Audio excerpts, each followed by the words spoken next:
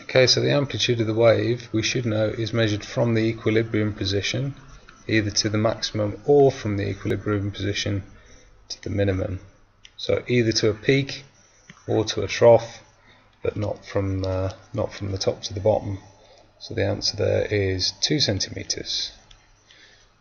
The wavelength is the uh, distance for one complete cycle of the wave. So if we take the distance between two peaks, then you see 16 minus 8 is 8 or we could do the distance between two troughs and 12 minus 4 is also 8 so the answer is 8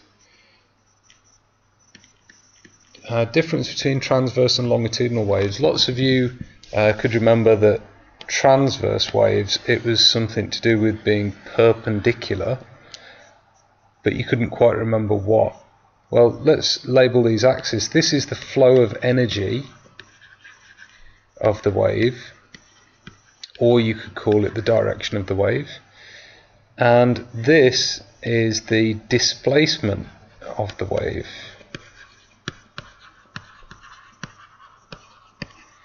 And as you can see from the diagram, for a transverse wave, those two are perpendicular to each other. For a longitudinal wave, then we end up with areas of compression, areas of rarefaction, areas of compression, areas of rarefaction, areas of compression. So the, the actual displacement of these these uh, points from the equilibrium position is along the same direction as the flow of energy.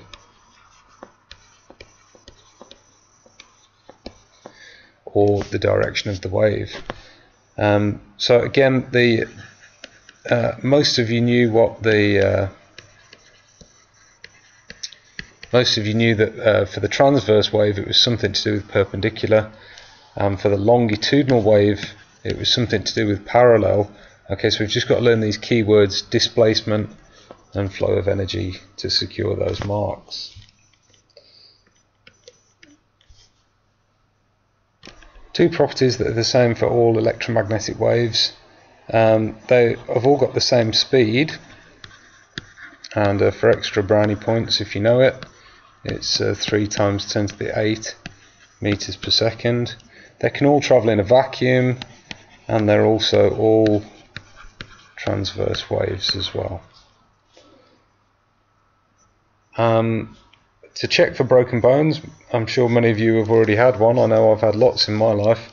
Uh, X-rays are used to check for broken bones, um, but not many of you knew exactly how an X-ray works. Now, how it works is uh, if you um, go, then they have an X-ray camera. If you're having a chest X-ray, for example, you stand between the camera and the X-ray film, which is behind you.